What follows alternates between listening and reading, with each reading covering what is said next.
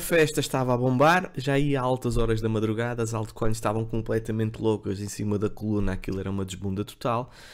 Agora até pareço os meus alunos a falar. um, quando de repente chega a dona da casa, a rainha, Bitcoin, e resolve apagar a luz, acabar com a festa e mandar toda a gente para os quartos. Portanto, basicamente foi isso que nós assistimos ontem, uh, ou nos últimos dias também. Uh, nada que hum, quem acompanha aqui o canal já, já tinha sido avisado para essa situação que os olhos estariam postos na Bitcoin e que as altcoins provavelmente iriam sentir alguma, alguma dificuldade, mas calma, isto faz a, é parte do processo de crescimento uh, e quem tem altcoins está muito exposto a elas pode agora sofrer um bocadinho, mas depois no futuro irá uh, sorrir, não tenho a mínima dúvida. Portanto, sejam bem-vindos a mais um episódio de uh, Alex Crypto.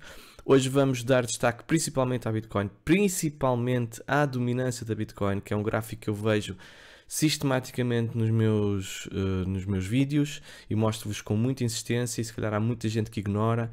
E para saber para onde é que está a soprar o vento, se é para as altcoins, se é para a Bitcoin, convém controlar esta, este gráfico com uma palma das vossas mãos e sabê-la de cor e tentar prever obviamente com uma margem de erro uh, sempre significativa, porque ninguém tem uma bola de cristal uh, e é extremamente difícil este mercado. Como o colega meu diz muito bem, é o jogo mais difícil, que é o jogo computador mais difícil que ele alguma vez jogou, uh, mas temos que olhar para algo, temos que nos agarrar a algo para diminuir a probabilidade de erro. Portanto, vamos, antes de avançarmos para isso, vamos fazer o nosso sorteio. Portanto, como quem não sabe e quem está a chegar aqui ao canal, eu todos os meses ou no, no início de cada mês uh, dou o, e a mesma palavra correta, dou o dinheiro que, que, que o canal angariou no, no, mês anterior. Ou seja, aqui temos todos os meses desde que eu, tô, desde que eu tenho o YouTube uh, a faturar, não é? Uh, e o mês passado, como vocês estão a ver em setembro, conseguimos, eh, vocês conseguiram angariar através dos, do, das visualizações e, e, dos anúncios 99 euros. Pronto, vá, vamos arredondar isto para 100 euros, não vou estar aqui com coisas. Uh, portanto, é isto que vamos, vai ser sorteado. Foram 18 episódios que eu fiz, já estive aqui a contá-los também uh, no mês passado. Portanto, vamos então passar ao sorteio. Portanto, vamos sortear de 1 ao 18 qual é o episódio. Portanto, foi o terceiro. Vamos ver qual é o terceiro. É aqui, este aqui foi o último. Portanto, uh, vamos, contar, vamos, vamos contar a partir do fim, desta vez. Um, dois, três. Olha, foi uma live. Lá ver se a live tem comentários. Uh, deve ter, não? Tem, tem muitos comentários. Pronto, ok. Portanto, vamos pegar aqui, copiar o URL. Vamos apagar isto que eu já não vou precisar disto para nada. E vamos então ver quem é que ganhou os 100 euros. Portanto, temos aqui os comentários todos, como vocês estão a ver, das pessoas que fizeram aqui uh, os comentários. Vamos aqui a opções uh, vencedores suplentes, confirmar, começar. Quem é que vai ganhar? E o Pedro Campos, mais uma grande ajuda e dicas, abraços, foi o seu comentário. Portanto, o João Souza será o suplente. Portanto, Pedro, muitos parabéns, uh, ganhaste 100 euros. Uh, por favor, entre em contato comigo, que é para colocares um código que eu te vou enviar depois por e-mail uh, no comentário que fizeste, que é para eu saber que é, efetivamente és tu. Ok? Quem não ganhou, lamento, paciência, mas já sabem, no próximo mês poderão ter mais uma oportunidade. Vão continuar a comentar, vão colocando os vossos gostos.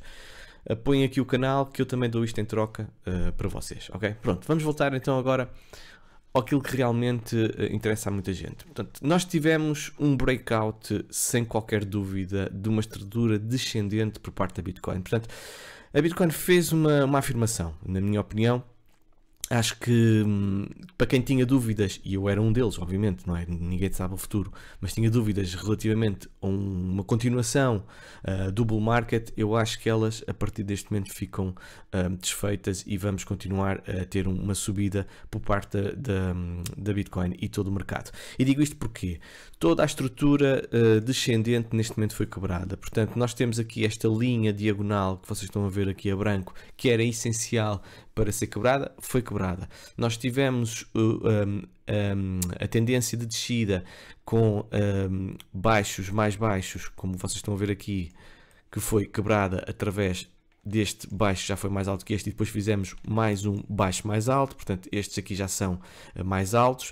Uh, e depois a nível estrutural, a nível macro, por exemplo, se nós olharmos aqui para uma perspectiva na, na semanal, aquilo que vocês podem constatar é que nós neste momento uh, já ultrapassamos o baixo, o alto mais baixo anterior, ou seja, tivemos este alto, tivemos um alto mais baixo em situações normais e tal como nós vimos no passado, em bulls, em bear markets anteriores, nós por norma temos altos mais baixos até chegar ao fundo do bear market. E, e, isso não está a acontecer neste momento. Eu sei que ainda faltam 3 dias para fechar a semana. Uh, isto seria muito, muito mal ver uma vela deste tamanho, com a, com a pujança que está a ter, fechar abaixo dos 50 mil dólares, uh, seria mesmo muito mal. E, e, aí, provavelmente, para a semana estaria a fazer um episódio completamente novo a dizer que se calhar estamos mesmo num bear market e que isto vai ser prolongado. Portanto, esta vai ser uma zona crítica. Mas uh, não, não me parece, sinceramente, por todas as notícias que eu tenho andado a dar, por todos os dados on-chain, nomeadamente aquele do shock supply que mostrei em, em vídeos anteriores, parece-me claramente que nós vamos ter continuação de subida. Portanto, e aqui aquilo que eu estava a dizer, alto, uh, mais baixo e agora finalmente estamos a ter, obviamente vamos esperar que pela semana estamos a ter um baixo, uh, um alto mais alto relativamente um, a este alto. Portanto, uh, esta estrutura mudou. E quando mudou, o nosso discurso também tem que mudar. Uh, aliás, já tinha mudado há alguns dias, uh, mas parece-me que efetivamente está diferente. Agora, onde é que uh, o que é que poderá acontecer? Esta zona, peço desculpa, esta zona aqui é uma zona de forte resistência. aliás, se nós pegarmos numa retração aqui de. Não, nem vou falar no Fibonacci para já, mas reparem, nós viemos aqui nós, a 6 de setembro, mais ou menos nesta altura, toda a gente tinha ordens de short mais ou menos aqui por causa deste order block aqui está de 10 de maio. Reparem aqui, uh, esta, esta, esta vela aqui verde que aqui estava é um order block, portanto toda a gente estava à espera que o preço viesse reagir a esta zona e havia aqui muitas ordens para short para depois o mercado cair, até pela pujança que ela continuava a ter e já era uma subida bastante prolongada. Isso não aconteceu, portanto levou a uma queda e depois esta subida está exatamente a reagir nesse order block, portanto um, era expectável que uh, a Bitcoin tivesse alguma dificuldade em ultrapassar isso, não só porque nós temos aqui, não só esse order block, mas também temos aqui esta zona aqui uh, dos 55.669 de 7 de Abril, que foi a suporte, e esta zona aqui um, de 21 de Fevereiro, que foi resistência. Portanto, toda esta zona aqui assim é uma zona de uh, forte um, resistência. Uh, a nível de Fibonacci, como eu estava a falar há pouco, nós podemos estar a ver que nós passamos a zona mais, mais, mais comum, mas estamos a bater exatamente na retração de 0.786, uh, que é também uma zona de, de, de, reação. Portanto, como vocês estão a ver, uh, esta era uma zona previsível para a reação da Bitcoin. O que não era previsível, na minha opinião, era uma quebra tão rápida desta resistência que aqui está, uh, porque normalmente estas tendências de descida mais prolongadas costumam levar a ao quarto, quinto toque é que costuma haver um breakout, não no terceiro. Uh, mas pronto, a Bitcoin está cheia de pressa e se calhar por ser o October, como agora as pessoas batizaram outubro, já não é outubro, é October, ou seja, October para October. Uh, mas aquilo que aconteceu foi exatamente isso. Agora, nós também podemos ver numa questão de hipotéticos targets para a BTC, uh, se isto efetivamente uh, correr bem, não é? Portanto, temos aqui os 60.700 como uh, possível target, que eu aponto mais até esta, esta zona aqui assim, dos 63, 64 mil, que poderá ser uma zona de reação, e depois sim, temos os 76, 77, 95, 136, uh, o, o plano B fala nos 98 em novembro, fala em 63 uh, em outubro e fala em 135 em dezembro. Portanto, não está muito, não está muito longe estas retrações aqui de Fibonacci relativamente ao plano B. Não sei se ele olhou para aqui, se não, uh, mas pronto. Agora, o que é que nós podemos ter, ter, o que é que nós precisamos estar preparados? Das duas, uma, ou a Bitcoin, eu não acredito sinceramente que a Bitcoin vai subir agora já direta, eh, que vai fazer já isto assim para cima e quebrar novos máximos entre hoje e amanhã. Ficava mesmo muito, muito surpreendido, apesar de tudo pode acontecer no mercado e nós estamos a falar de uma questão de probabilidades. Agora, é mais provável, na minha opinião, fazer um retest a esta zona, aqui assim, uh, e validar esta zona como suporte uh, que anteriormente era resistência. Se a Bitcoin fizer isso, será algo extraordinário. Portanto, é crítico, até porque aquilo que nós vimos na, na, na, na, semanal, em que eu disse que não convém fazer, não convém ser rejeitado e este alto mais alto convém permanecer, mas parece-me crítico aguentar esta zona aqui assim dos um, 50 mil, mais ou menos aqui assim. Portanto, esta zona para mim é crítica para a Bitcoin. Se ela conseguir arranjar, uh, aguentar aqui nesta zona aqui de suporte, excelente, excelente. Vai ser excelente para a Bitcoin uh, e podemos ter efetivamente uh, a confirmação, ou mais uma confirmação, que vamos ter um movimento bastante saudável. Esta será, na minha opinião, a perspectiva mais saudável para as altcoins, e depois já vamos falar com elas com um bocadinho mais de detalhe, que é este efeito mais ou menos aqui assim. Portanto, nós temos o breakout, como tivemos, tivemos o breakout, e agora aqui o retest, andamos aqui, se calhar, a namorar um pouco, e depois aos pouquinhos, e depois aos pouquinhos, e pronto, ignorem, e depois aos pouquinhos chegar a novos máximos. Portanto, fazer este movimento mais ou menos aqui de alguma lateralização. Pode ser mais acima, mais abaixo, mas acima dos 50 mil. Ou seja, fazer uma lateralização entre os 50 mil e mais ou menos aqui os 59, 60 mil. Vamos arredondar para os 60 mil. Será efetivamente bastante positivo para as altcoins. Porém, eh, nós podemos ter perfeitamente um cenário, mesmo que seja de curto prazo, em que um, nós tínhamos uma retração, por exemplo, a esta zona, que parece-me uma zona que ficou um pouco pendente, que é este order block aqui está, aqui na diária, e nós poderemos perfeitamente vir cá buscar liquidez a essa zona. Será já uma zona de maior perigo, é verdade, mas poderá ser apenas uma queda rápida uh, e depois com rápida recuperação e fechar essa vela na diária ou mesmo na semanal um, acima destes valores. Portanto, eu espero que, que não, não, não venhamos tão cá abaixo, mas também podemos ter este cenário, perfeitamente vir cá mais abaixo, não é? E depois, aqui de uma forma simplista, uh, ir mais para cima. Ou então ainda, mas aqui já será, na minha opinião, uh, mais difícil, é este cenário aqui assim, esta zona aqui de imbalance que aqui surgiu, esta vela aqui, esta zona aqui de imbalance, que há aqui um suporte também bastante grande, na zona dos 45 mil, e é a golden zone aqui desta subida, podemos chegar a ter aqui uma retração. Portanto, a nível macro, um, eu gostava mesmo que nós não quebrássemos esta zona aqui dos 50 mil. Acho que era excelente para as altcoins, excelente para a Bitcoin. Mas se viemos cá abaixo, significa que vai demorar mais algum tempo, mas atenção, não é por causa disso que a estrutura de subida vai estar invalidada. Porque reparem, alto, mais alto, baixo, mais baixo, baixo mais alto. Portanto, a toda a tendência será de continuação de subida. Portanto, mesmo que este seja o cenário pior dos 45 mil dólares, continuamos bullish e as pessoas têm que estar cientes disso e nada cresce para, cima, eh, para sempre. Uh, e vocês repararem, nós tivemos uma subida bastante agressiva por parte da Bitcoin nos últimos dias. Reparem aqui na, na, na perspectiva de 3 dias, são 9 dias um, com uma inclinação bastante forte uh, por parte da Bitcoin. Portanto, uma retração será bastante saudável e não o contrário. Se nós fizermos já novos máximos, não me parece que seja o mais saudável para a Bitcoin. E agora a dominância da Bitcoin. Muito crítico, eu tenho falado sobre isto bastantes vezes. E foi aqui que eu comecei a fechar posições no par BTC, julgo que foi mais ou menos aqui ou aqui, epá, pronto, já não me recordo bem. Lembro perfeitamente que nós, quando, quando eu assisti a esta situação aqui da inversão, esta divergência positiva que havia aqui no RSI com duplo fundo, uh, lembro-me de ter olhado para a Bitcoin e, e ter entrado uh, com uma verba dentro das minhas possibilidades, mas para mim é uma verba significativa, tendo em conta as trades que costumo fazer, mas entrei nos 42 mil uh, dólares em BTC, portanto apostei forte em BTC nessa altura, e ainda bem que o fiz. Uh, mas porém, por exemplo, ontem fiz uma entrada, fiz três entradas, e quem está no Premium sabe que eu mostro tudo o que faço, em, fiz em Solana, Avax e Cosmos, no par BTC, e, e fiz porquê? Porque eu achava e acho, se calhar, e vou ter razão, apesar deste raio que aqui se está a formar, que esta zona aqui, a zona, reparem aqui, esta zona aqui a vermelho, que era anteriormente resistência, um, era uma resistência forte, na minha opinião, para, para, para, um, para a dominância da BTC.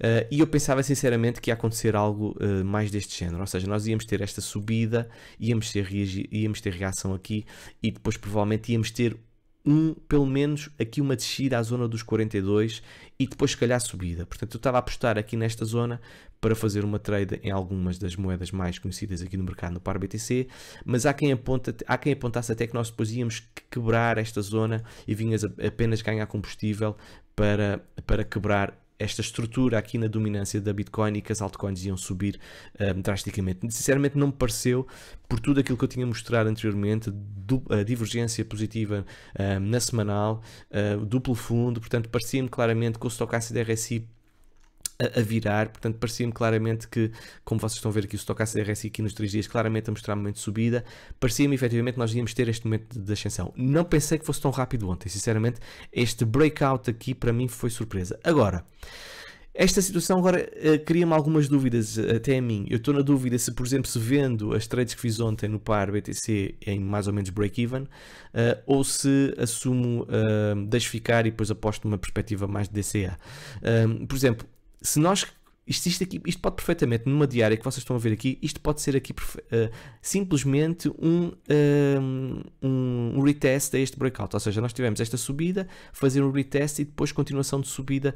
Primeiro esta resistência e depois, se calhar, vir aqui fazer suporte, atacar aqui esta resistência também, suporte e depois disso, se calhar, à parte final dos 49 ou até mais acima. Portanto, a dominância da Bitcoin pode fazer exatamente isto. E se o fizer, atenção, as altcoins vão sofrer. Portanto, quem está muito, muito exposto a altcoins vai passar um mau bocado. Eu não estou a falar no par USD, porque no par USD, se o movimento for, uh, da Bitcoin for de subida, a dominância da Bitcoin também ao subir significa que no par USD as quebras podem nem sequer existir e até pode haver lucro, mas no par BTC as quedas vão ser significativas e há muita gente que olha para os pares BTC para ganhar mais BTC sem gastar mais dinheiro. Portanto, é algo que eu ensino no meu curso também.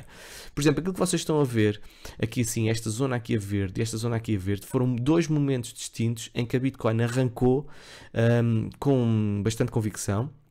Aqui foi quando ela estava nos 3 mil dólares e chegou aos 14 mil dólares, 12 ou 14 mil dólares. Reparem a dominância da Bitcoin, o que é que foi, o que é que aconteceu. E aqui também foi quando a Bitcoin passou dos 20 mil, arrancou nos 20 mil e ela teve uma clara aceleração. Portanto, a Bitcoin costuma liderar esta, estes arranques uh, do mercado e há muita gente que se esquece do poder da Bitcoin. E ontem nós vimos exatamente isso foi tipo um aspirador. Ela foi buscar liquidez às altcoins. Aquilo foi incrível. Nós víamos altcoins com muito peso a sofrer bastante no par BTC, cerca de 10% ou mais. Portanto, ela foi buscar liquidez a essas altcoins.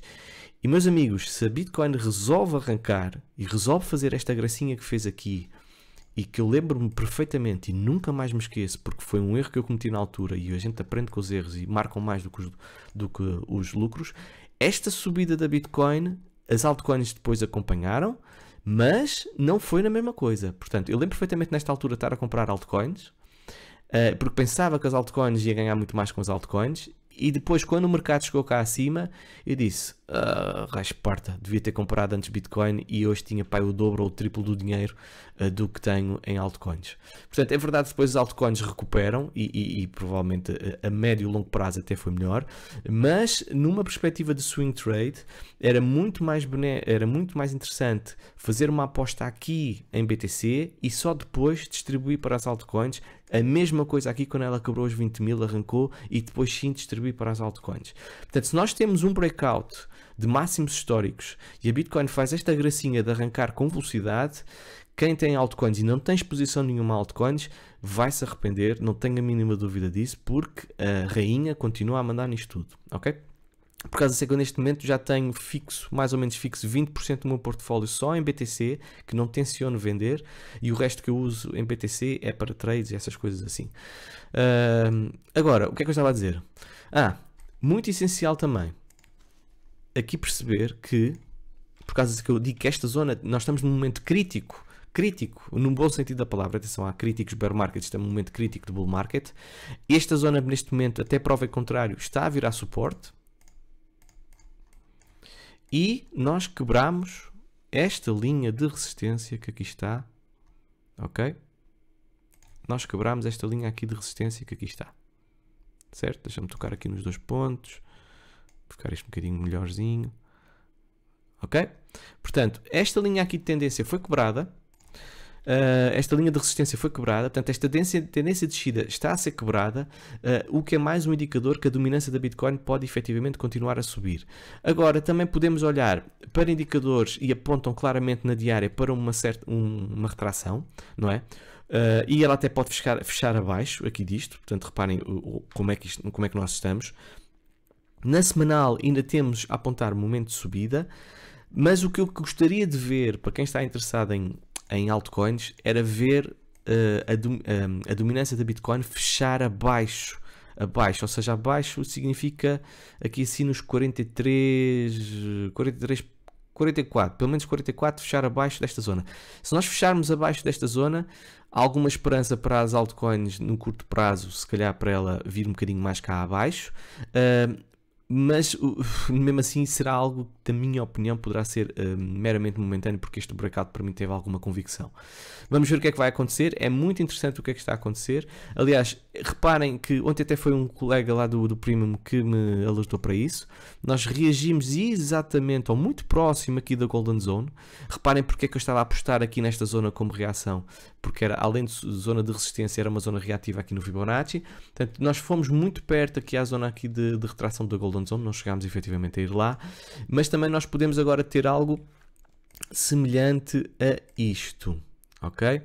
Ela vir cá abaixo, isto seria muito bom para as altcoins, mas mesmo assim vi fazer suporte aqui nesta zona e depois uh, continuar a subir, ou seja, vi cá abaixo, fazer suporte aqui e depois uh, continuar a subir. Portanto, há aqui muitos cenários que estão em cima da mesa, não é fácil neste momento tomar uma decisão relativamente às altcoins, mas por norma a tendência é a vossa amiga e neste momento, com este breakout, a tendência virou breakout diagonal, breakout horizontal, a tendência virou.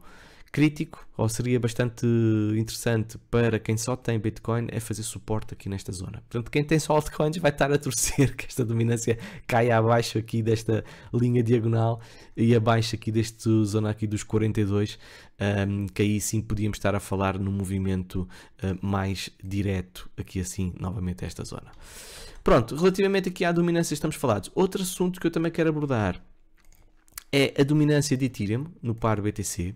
Eu acho que as altcoins vão ter a sua principal, ou melhor, vão ter a, a continuação da festa que estavam a ter quando quebrarem aquilo que me parece cada vez mais um triângulo, um triângulo ascendente. Reparem aqui, esta zona aqui para mim é um triângulo um, ascendente que aqui está a ser formado e por norma os triângulos ascendentes têm uma tendência a ter um breakout superior e normalmente aqui de metade a dois terços, portanto até 1 de janeiro podemos ter aqui um, este breakout aqui superior um, da dominância da Ethereum. Portanto, Ethereum continua a ser para mim uma das, uma das grandes candidatas a fortes lucros aqui do mercado uh, e seguramente vai liderar um, um, o novo arranque, vamos chamar assim, da, das altcoins uh, para uma alt season, que, hipotética alt season que irá acontecer.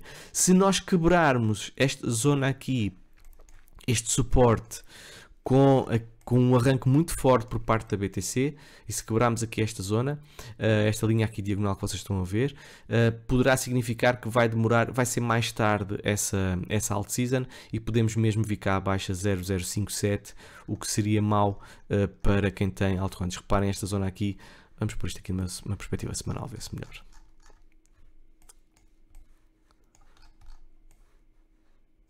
Ok. Reparem esta zona aqui, toda esta zona aqui poderá ser o, o, um suporte bastante, bastante forte aqui para Ethereum no par BTC, o que iria invalidar este triângulo ascendente e iria então adiar uh, a alt season. Mas quando nós quebrarmos esta zona aqui assim, principalmente esta zona aqui do 008, vai ser na minha opinião um, ehm, uma alt season bastante forte nós vamos ter. Outro indicador aqui é o Total 3, portanto este Total 3 um, é só as altcoins sem Bitcoin e sem Ethereum envolvidos. Um, e ela, assim, ela está muito bullish. Portanto, eu, eu estou a olhar para vários indicadores para ver se vos dou o maior número de informação possível. Mas nós temos aqui aquilo que parece uma cup and handle, apesar deste handle estar um bocadinho mais alto. Um, e neste momento estamos aqui a fazer outro, um mini, mini cup and handle, como vocês estão a ver aqui. Ok? Nós temos aqui claramente a formar um mini cup and handle, aqui assim, Portanto, e neste momento já tivemos breakout. Mas será crítico ou será decisivo para, para as altcoins? quando nós quebrarmos esta zona aqui dos 950 bilhões de dólares. Se nós quebrarmos esta zona, não temos mais resistência, portanto teremos uma festa aqui das altcoins. Se começamos a perder e começamos a cair abaixo aqui dos 720, um, a alt season vai ser adiada porque também temos a, a, dominância da Bitcoin claramente a subir, com a Bitcoin a, a ser a rainha e a sugar toda a liquidez aqui do mercado. Portanto, muito interessante aquilo que está a acontecer. Estejam atentos, olhem bem para estes gráficos, porque vai-vos ajudar a, a, tomar decisões e eu, obviamente, vou estando a olhar para eles. No Premium eu faço isto diariamente, eles acompanham as minhas análises diariamente, uh, boas ou más, acompanham-nas, um, e vamos ver o que é que vai acontecer, ok? Portanto, Vemo-nos no próximo episódio que será em princípio amanhã. Um, e, mas amanhã não devo fazer live e depois uh, falamos um bocadinho, tá bem? Ok? Beijinhos e abraços. E quem ganhou, faz favor entrar em contato comigo.